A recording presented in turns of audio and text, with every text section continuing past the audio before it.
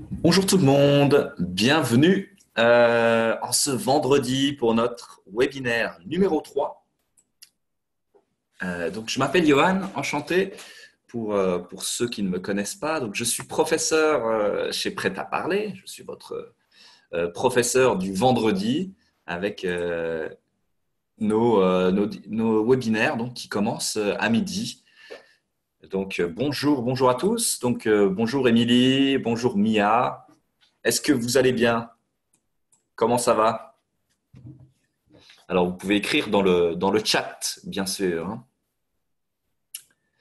Bonjour Émilie, ça va? Très bien, merci, merci, merci. Ok, super. Bon, il fait beau chez vous? Chez moi à Dijon, il fait très très beau. C'est un plaisir. Est-ce qu'il fait beau chez vous? Je vais écrire.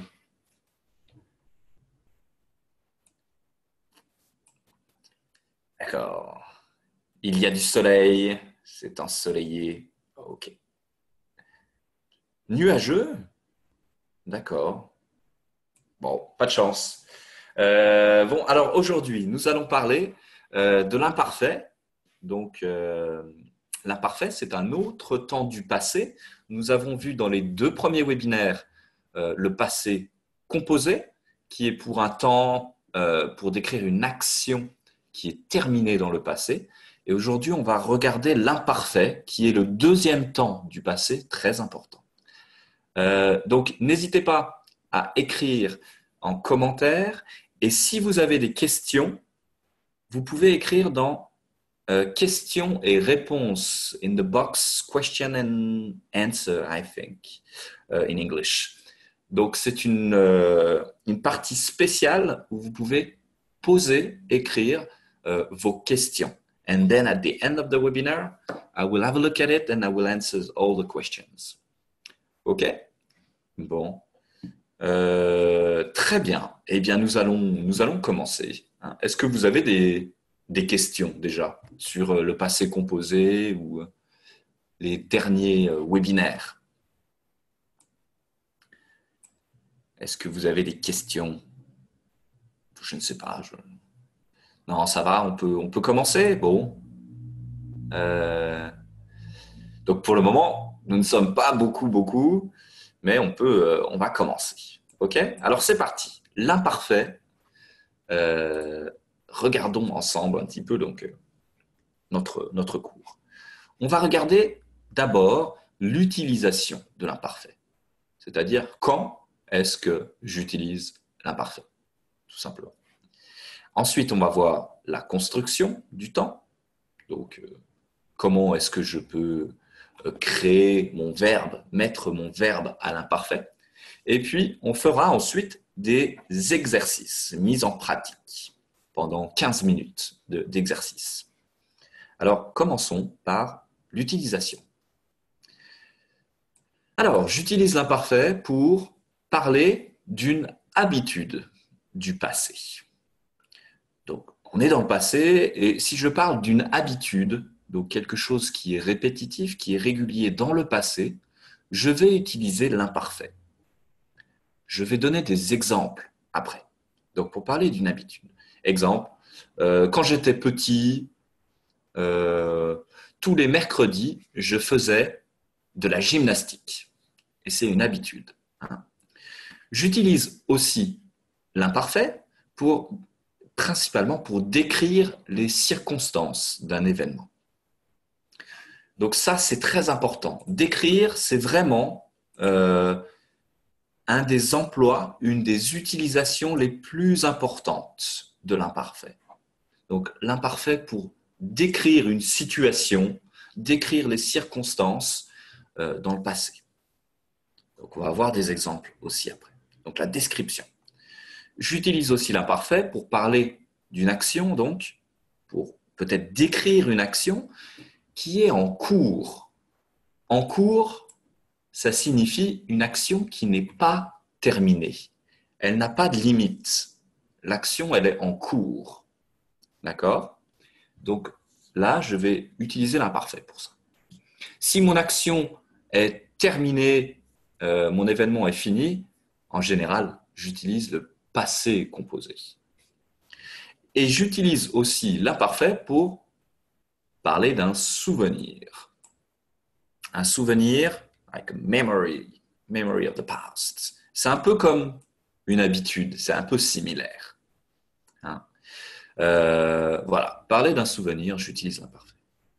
Ok, there are maybe other use of the imparfait, but those ones are like the main ones for me. Hein. And if you need to think of just one use of the imparfait, it would be like the description in the past. If you need to describe something, you will use the imparfait. OK Mais ça, on, we will see it again uh, next week to know when to use the passé composé and when to use the imparfait. OK Alors, exemple, c'est parti. Vous avez ici les quatre utilisations et quatre phrases, quatre exemples. Peut-être qu'on peut associer euh, ces phrases et les utilisations. Alors, je vais le faire dans un premier temps. Regardez, parler d'une habitude du passé. Alors, une habitude du passé, eh bien, peut-être que c'est celle-ci. Regardez. Je faisais, imparfait, toujours des crêpes le dimanche soir. Ici, le dimanche soir, ça veut dire tous les dimanches soirs. C'est une habitude. Hein. Et c'est dans le passé. Je faisais, donc c'est de l'imparfait. Ça va pour tout le monde? Dites-moi, si vous ne comprenez pas, vous pouvez aussi écrire hein, dans le chat. OK. Décrire les circonstances, donc description d'un événement, c'est facile. Exemple, il pleuvait, it was raining, et la route était dangereuse. Ici, c'est de la description. Hein, c'est vraiment de la description. Pour parler d'une action en cours, en cours, qui est en processus euh, d'action, qui fonctionne. Par exemple, il pleuvait, it was raining, it's, it's still an ongoing action, actually. So it could have been this as well. Il pleuvait. Hein? Euh, mais on va regarder celle-là, par exemple. Je regardais la télévision quand il a téléphoné. Il a téléphoné, c'est une action, c'est du passé composé. It's finished. Oui. Mais la première, je regardais la télévision, c'était c'est une action qui est en cours. I was watching TV. Uh, I was in the process of watching TV and it's not finished. Donc je regardais la télévision. Quand il a téléphoné, uh, he called, ici c'est terminé, passé composé. Et dernière possibilité, donc, parler d'un souvenir ici, à cette époque, donc c'est dans le passé, hein, je me souviens, il avait, avait imparfait les cheveux longs. C'est un souvenir imparfait. Voilà. Voilà pour les quelques utilisations ici importantes de l'imparfait. Une petite chose, en anglais, it's not always good to translate in English because you cannot translate everything in English. But most of the time, um, when you describe something, you can use the was. It's like was plus eng, was plus eng in English. Example, uh, il pleuvait, it would be like it was raining. It was raining. Ou je regardais, I was watching TV etc. Ça va Mais quand vous parlez d'une habitude, when you talk about like an habit or like a memories of the past, it can also be, the imperfect can also be sometimes translated as used to. Hein? Exemple, oh, I used to make crepes de dimanche soir. Ça va? Bon, voilà. It's not always good to translate, but maybe it can help. Alors c'est parti, regardons maintenant. Donc, euh, ah, on va regarder quelques expressions, pardon, des expressions qui peuvent peut-être annoncer un imparfait. Donc des mots euh, qui vont peut-être être suivis d'un imparfait. Donc dans le passé, quand je dis quand j'étais jeune, quand j'étais petit. Ici, on parle euh, donc on parle d'une peut-être d'un souvenir ou d'un temps passé. Je vais utiliser l'imparfait.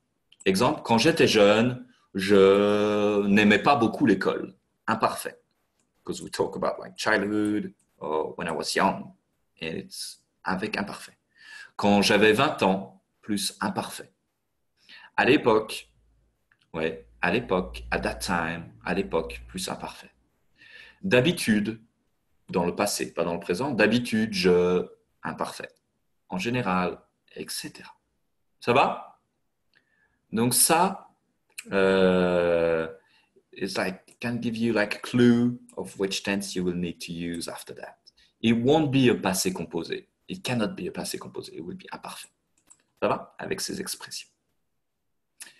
Allez, nous regardons la construction du de, de l'imparfait. Alors, vous n'avez pas de. You don't have any question and answer yet? Okay, that's good. If everything is uh, facile et clair, c'est parfait. Uh, so far, so good. Parfait. Donc, terminaison de l'imparfait. Elles sont ici. Hein?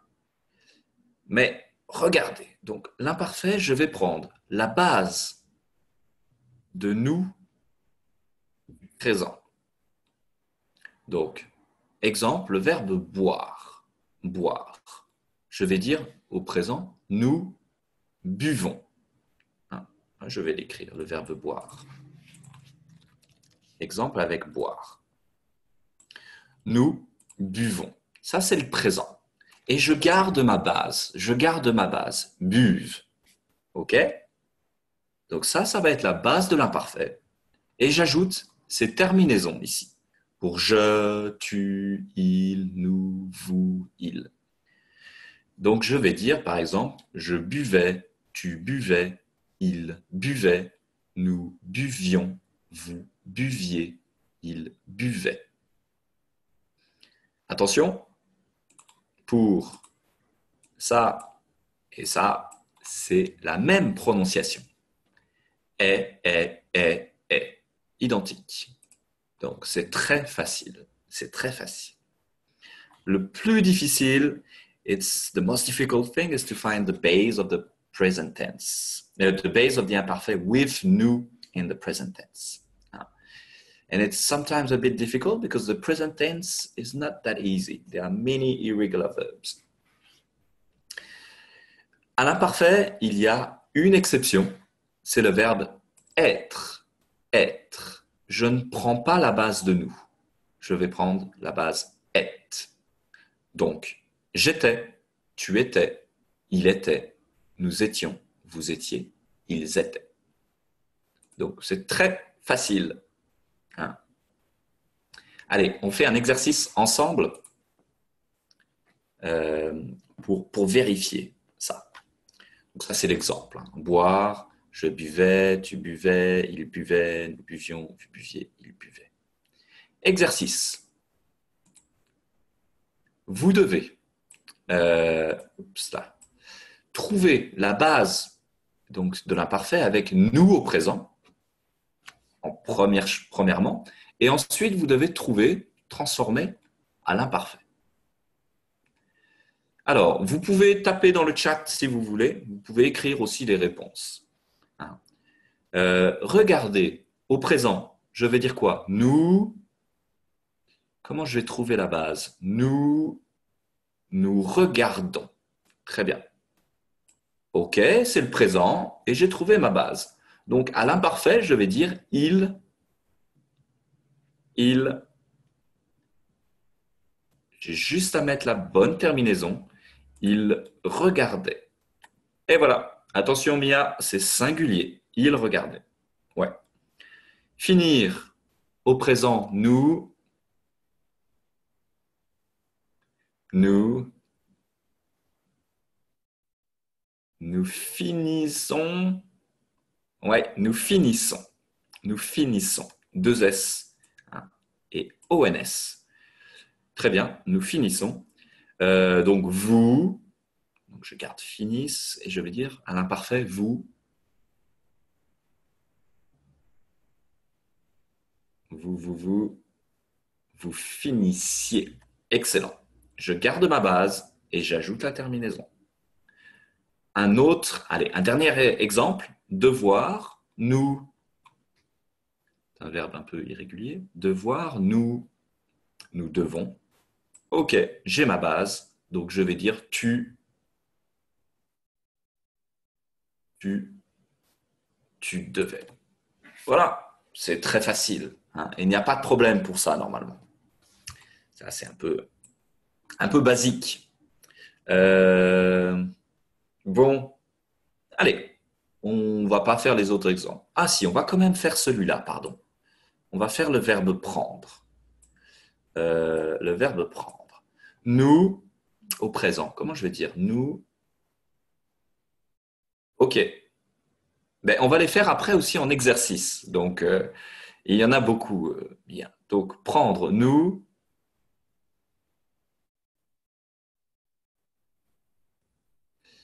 Comment je vais dire?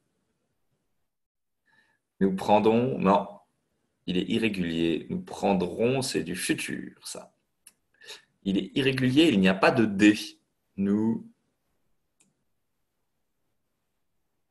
nous prenons, ouais, nous prenons, très bien. Nous prenons. Et euh, donc, à l'imparfait, nous encore, nous prenons, nous nous prenions. Très bien. Vous voyez la différence?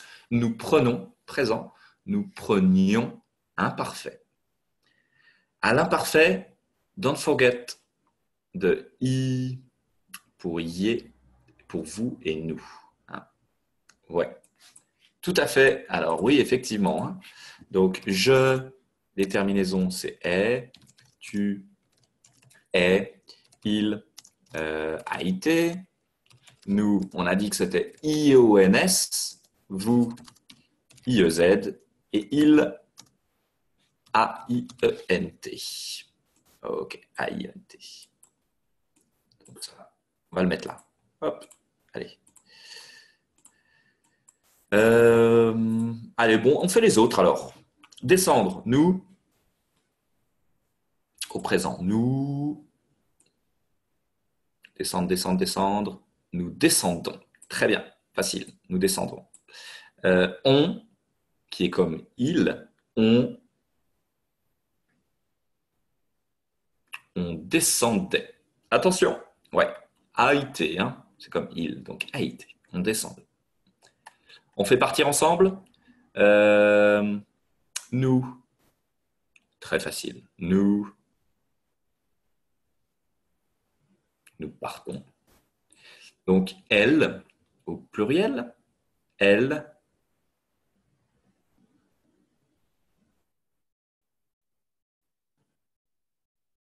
elle partait. Excellent. Attention à la prononciation. Hein. There are a lot of letters, but you don't pronounce them.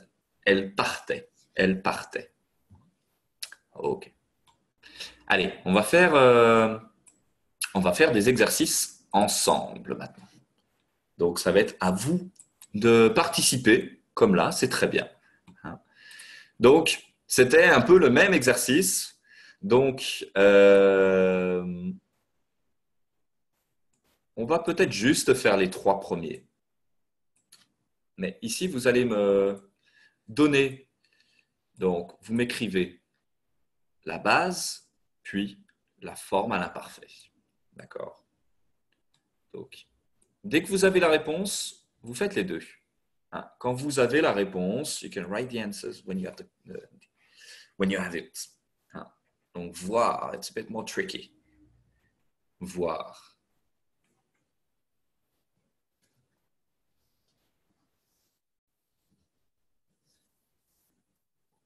Alors, comment je vais dire? Nous.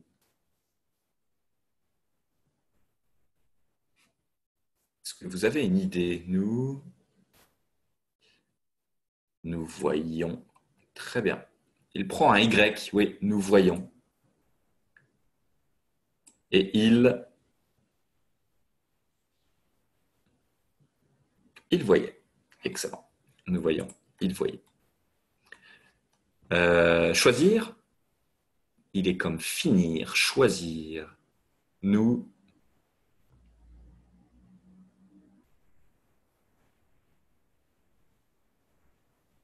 Alors, nous choisissez. Non, nous choisissons. Nous, avec nous, nous choisissons. Oui, et attention, Mia. Il y a deux S, il est compliqué. Choisissons. Choisissons.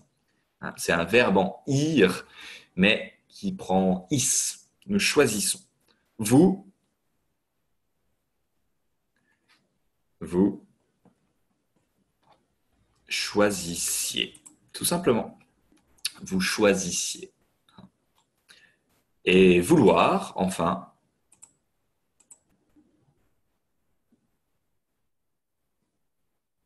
nous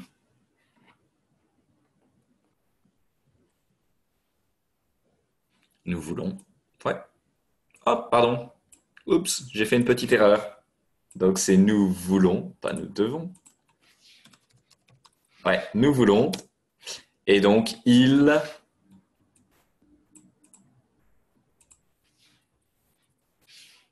il voulait. Très bien. Il voulait. A-I-N-T.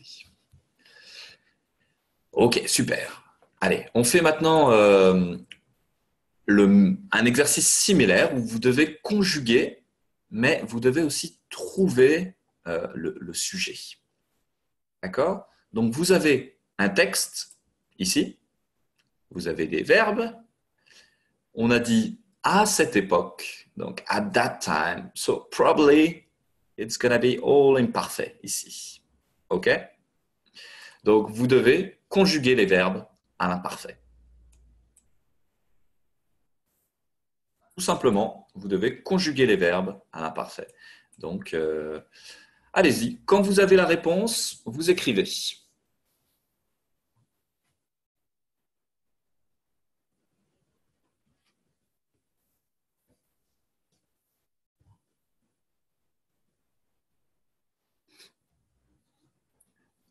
Ok, Mia, j'accepte. Super. À cette époque, donc, j'habitais. Ah, pardon. Désolé. Je travaillais. J'ai fait une petite erreur. Ce n'était pas habiter, mais euh, c'était travailler. Oui. Euh, j'habitais, pourquoi pas? J'habitais. C'était correct aussi. J'habitais. Je travaillais. Ok.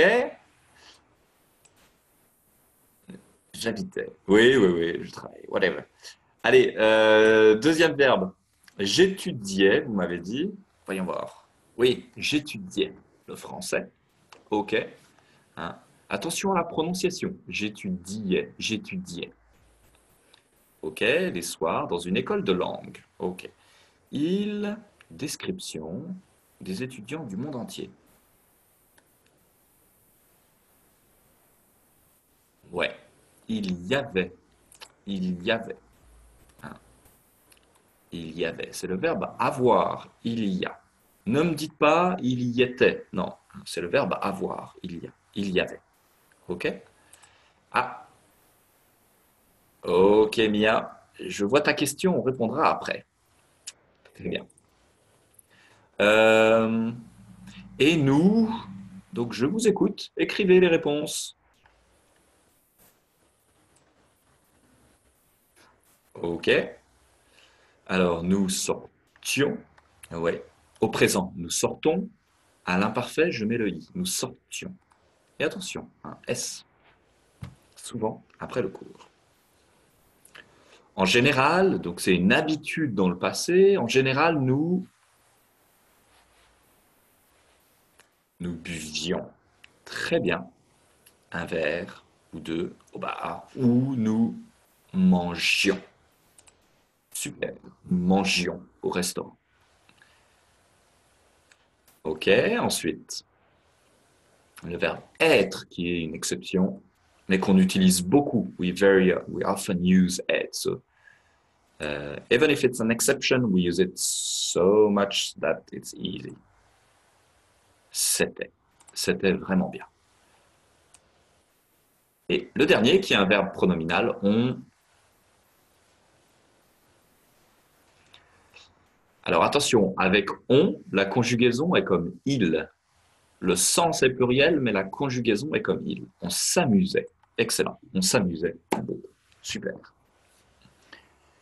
Bon, voilà. Ce sont des verbes assez simples, mais vous avez bien compris la, logique. C'est super.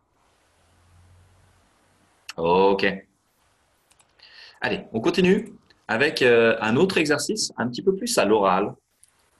Euh, on, va, on va finir nos exercices avec ça, qui est un peu plus à l'oral. Donc, euh, vous allez écrire vos réponses. Vous allez essayer de me faire des phrases à l'imparfait dans le chat. D'accord? Donc, dans votre enfance, quand vous étiez enfant, quand vous étiez petit ou petite, oui, vous devez répondre à ces questions. Quel sport faisiez-vous? C'est le verbe faire à l'imparfait. Alors, répondez avec une phrase. Écrivez une phrase euh, dans le commentaire. Alors, Mia, quand j'étais petite, je faisais. Très bien, excellent. Tu me dis, donc quand j'étais petite, euh, je faisais du basket, du basketball. Très bien, super, ça marche. Je faisais. Ouais. Et oui, c'est AI. Je prononce fe, e, mais j'écris AI. Je faisais du basket. Émilie, tu faisais du foot, du football. Ok, je faisais du football.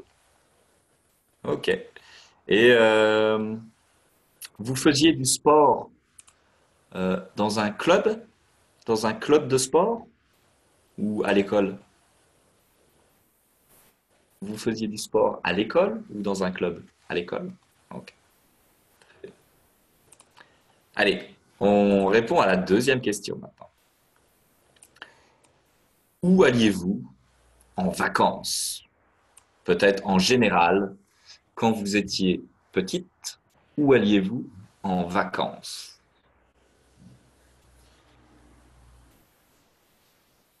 Alors faites-moi une phrase.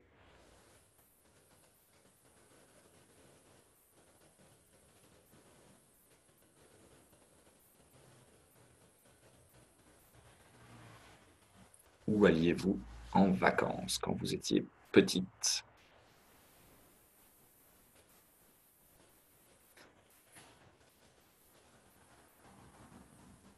Allez, j'attends, j'attends vos réponses. Ah mince, bah, ce n'est pas très, euh, ce n'est pas très drôle ça. J'allais jamais en vacances. Bon, et eh ouais, bah, ça arrive aussi, ou peut-être qu'on reste à la maison. Hein. Euh, donc attention, hein. je allais, déjà ça va être j'allais, oui. Mais ici, tu utilises jamais, c'est la négation.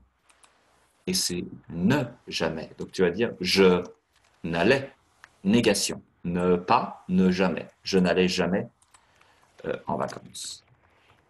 Ok, je n'allais jamais en vacances. Ou alors tu peux dire je ne partais. Je ne partais jamais en vacances. Ok, ça marche. Bon. Euh, ok. Pas de vacances. Ou peut-être que tu restais à la maison. J'allais chez ma grand-mère. Oui, très bien. J'allais chez ma grand-mère. Excellent. Euh, quand tu étais petite, Mia, quand vous étiez petite et, Émilie, euh, qu'est-ce que vous mangiez le matin? Qu'est-ce que vous preniez au petit déjeuner? Qu'est-ce que vous preniez au petit déjeuner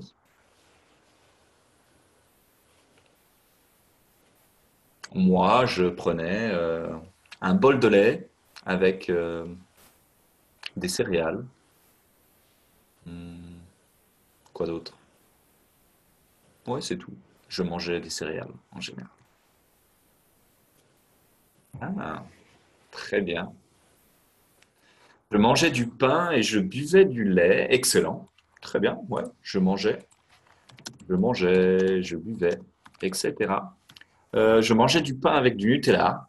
Ouais, je ne sais pas si c'est très bon pour, euh, pour la santé, euh, si c'est un bon petit déjeuner. Ah oui, pardon, n'importe quoi, j'ai mis je manguais. Désolé, j'ai fait une erreur. Je mangeais, oui. Hein, je mangeais du pain. Alors pourquoi? C'est simplement pour la prononciation. Hein. C'est pour la prononciation.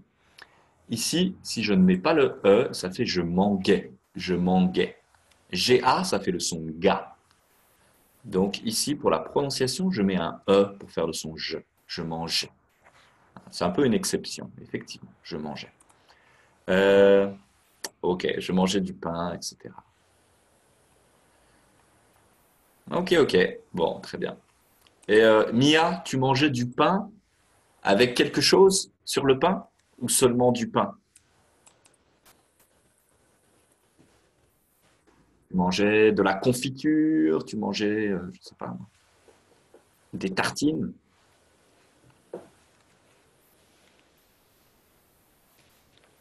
Est-ce qu'il y avait autre chose? Ah, d'accord. Ça a l'air pas mal. De la confiture de mangue. Oui, de la confiture de mangue. Ok, super. Et dernière question. Que vouliez-vous faire plus tard? Donc, quand vous étiez petit, qu'est-ce que vous vouliez faire comme profession dans le futur? Quels étaient vos rêves de profession? Exemple, moi quand j'étais petit, je voulais, qu'est-ce que je voulais être? Je voulais être euh, testeur de jeux vidéo.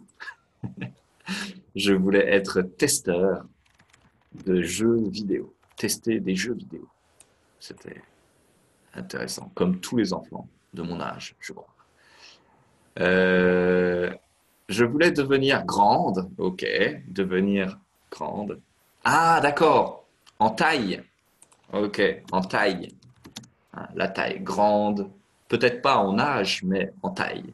Ok, j'étais très petite. Ok, super. Joueuse de basket.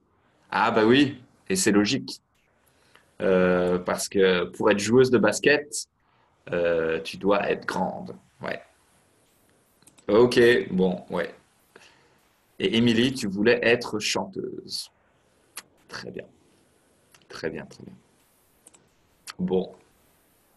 Et est-ce qu'aujourd'hui, vous êtes chanteuse et euh, joueur, euh, joueuse de basket?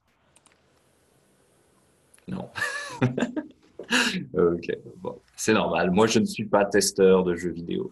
Euh, non, non, non, non, je ne suis pas testeur de jeux vidéo non plus.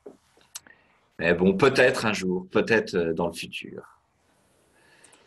Un petit peu. Quand j'étais petit, je jouais beaucoup aux jeux vidéo. Maintenant, je, joue moins. Je joue moins. Euh, ok, bon. Donc voilà pour, notre, euh, pour nos exercices. Hein. C'est bien. Vous avez bien utilisé l'imparfait. C'est bien. Hein. Donc, je répète. so we use the imparfait. In this case, it was because we're talking about childhood. Hein. And in the childhood, so it's past, it's like memories or So you have to use the imparfait. Okay? But we also say that we use the imparfait pour la description, for the description as well, when you describe something in the past. Hein? Un événement, pour donner des circonstances, etc. Euh, donc voilà, je vais répondre à vos questions maintenant. Et puis, bien sûr, euh, si vous avez Ok, on verra ça après, mais je vais déjà répondre à vos questions. Euh, donc c'est parti. Je regarde. Donc nous avons quatre questions de Mia. Euh, je ne comprends pas quand utiliser le passé composé et l'imparfait. Ok. Donc la différence entre le passé composé et l'imparfait. Donc ça, Mia, we will see the difference between passé composé et imparfait la semaine prochaine. Uh, we've seen both tense so far, but we will see how to use them in a text in the past tense. Because sometimes you have to use the passé composé and sometimes you have to use the imparfait. Uh, donc j'ai expliqué que l'imparfait, c'était plutôt pour la description des circonstances, les habitudes, etc. Et le passé composé, c'est plutôt pour des actions terminées. Ouais. But we will have a look again at it uh, next week. Ok, so don't worry about that. Euh, alors, tu fais souvent, Mia, des erreurs. Ok. Entre j'aimerais et j'aimais peut-être? J'aimais, j'aimerais? C'est ça? Ok, donc ça, en fait, c'est euh, deux temps différents. Hein. C'est deux choses différentes. J'aimais, we just saw it. J'aimais, c'est l'imparfait. Hein, l'imparfait, j'aimais. D'accord? Où je garde ma base, M. Ici, c'est ma base du présent, plus euh, les terminaisons de l'imparfait. J'aimerais, c'est le conditionnel. J'aimerais. On appelle ça le conditionnel. C'est le conditionnel présent. Euh, pardon, conditionnel. Hein. J'aimerais. Et ici, ma base est différente. It's not the same base. Ici, c'est pour le conditionnel, you will see that the base is like the infinitive. Aimer. Donc, c'est différent. J'aimais. I used to like, or maybe I was liking, but it's more like I used to like. J'aimerais, I would like. I would like. Voilà. Euh, et le conditionnel, we use it a lot, actually. J'aimerais, I would like, je voudrais, I would like as well, etc. D'accord? Mais ce n'est pas le même temps. Euh, ensuite, une autre question de Mia qui me dit euh, est-ce qu'on est masculin? Est-ce que on est masculin? Masculin ou féminin? Euh, Alors, on, c'est égal à nous. Hein. Donc, c'est égal à nous. for the meaning is like uh, we. It depends. On has different meanings, but usually at our level is more like we. Hein, si je dis par exemple on mange, si maybe is like nous mangeons. Ok? Donc ici, masculin, féminin, ça dépend du contexte. Just depends of the context. If we know that if like girls or, or, or boys, it depends. It really depends of the situation. Hein. Mais on, euh, ça peut être masculin, ça peut être féminin, ça dépend. Ça dépend. Ok? Il n'y a pas vraiment de... Euh, ça, dépend du contexte. Ce n'est pas comme il ou elle. Euh, il y aura un webinaire, oui, there will be one uh, webinar on the conditionnel. We will see the conditionnel. Hein. Uh, maybe for uh, a couple of webinars on, it, on the conditionnel. Bien sûr, ouais, tout à fait. Euh, voilà, bon. Donc, euh, la négation à l'imparfait, c'est très facile aussi pour la question sur la négation. C'est très, très facile. Hein. Par exemple, je parlais, I was talking, je parlais. Eh bien, c'est comme le présent. Je ne parlais pas, c'est-à-dire que ma négation, c'est ne, before the verb, pas après le verbe because it's a simple tense, it's just one word. Donc, ne, verbe, pas. Tout simplement, ne, plus verbe, plus pas. Ah. On avait vu que le passé composé, euh, c'était un petit peu plus difficile, mais à l'imparfait, c'est ne, verbe, pas. OK euh, Allez, je vous fais un petit rappel au passé composé. So, last week we saw it. Euh, par exemple, le verbe parler, je vais dire j'ai parlé. Ouais, ça c'est au, passé composé. J'ai parlé. À la négation, c'était je n'ai pas parlé. Je n'ai pas parlé.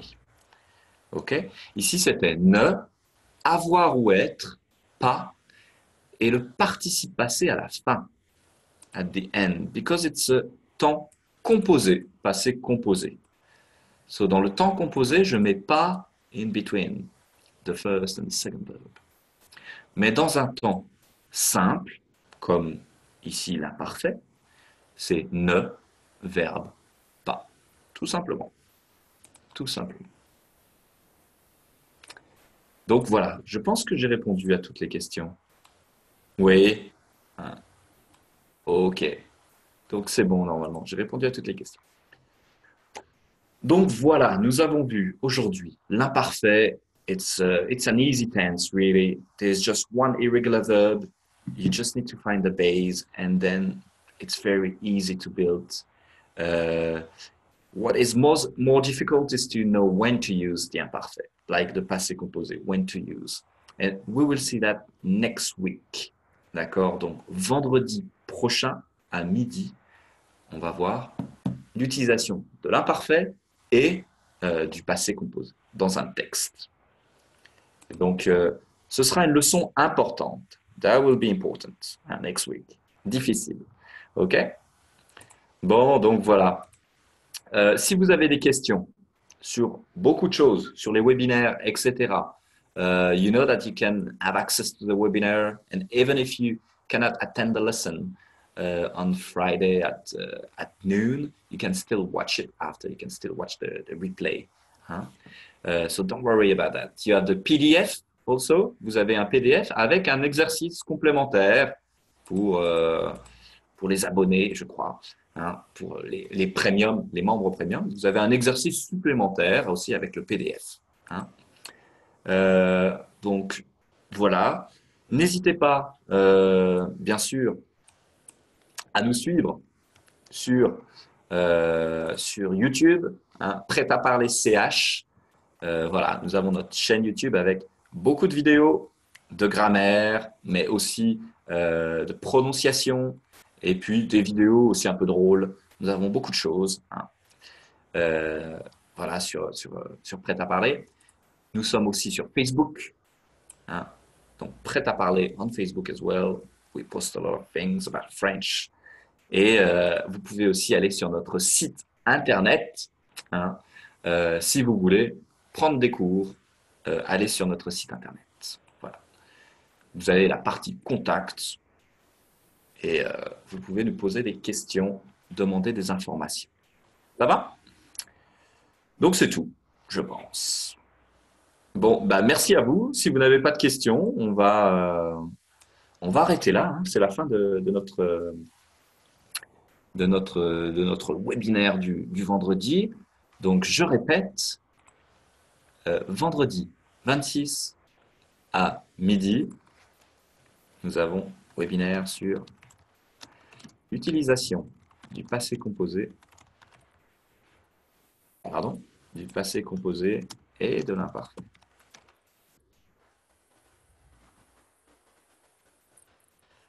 Euh, Pâques. Ah oui, Pâques. Easter, hein, Pâques.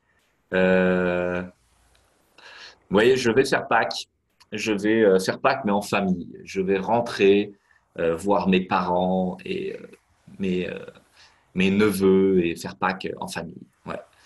je ne mange pas beaucoup de chocolat, moi, en général. D'accord, tu mangeais beaucoup de chocolat? Oui. Eh ben, moi aussi, je mangeais du chocolat avant, mais quand j'étais petit, mais maintenant, plus beaucoup, non. Mais vous savez, en France, je ne sais pas si ça existe dans les autres pays, mais on, on cherche les œufs de Pâques euh, dans le jardin. Hein, c'est une tradition. Les parents cachent, cachent, ils cachent, cachent, to hide. Hein. Euh, donc, ils cachent les œufs dans le jardin, and then the kids have to find them in the garden. I don't know if you do that in other countries. I'm not sure actually. Euh, et ce sont des œufs, bien sûr, avec euh, chocolate eggs. Hein. Donc voilà. Bon, je ferai peut-être ça avec mes neveux euh, dimanche ou lundi, pardon. Ouais.